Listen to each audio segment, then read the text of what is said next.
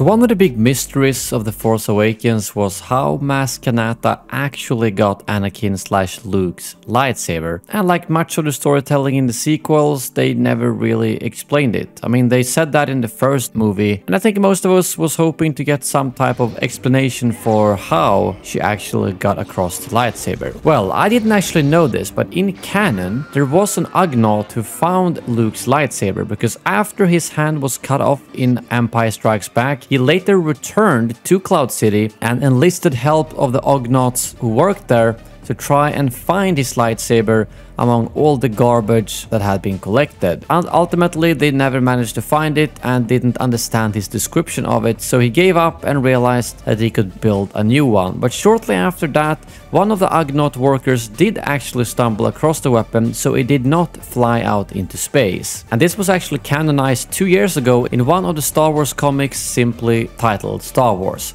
But after that, all the way until 30 years later, when Maz Kanata has it, we still have no idea where it was or how she got her hands on it. The only thing we do know is that it wasn't floating around in space since that Ugnaught obviously found it.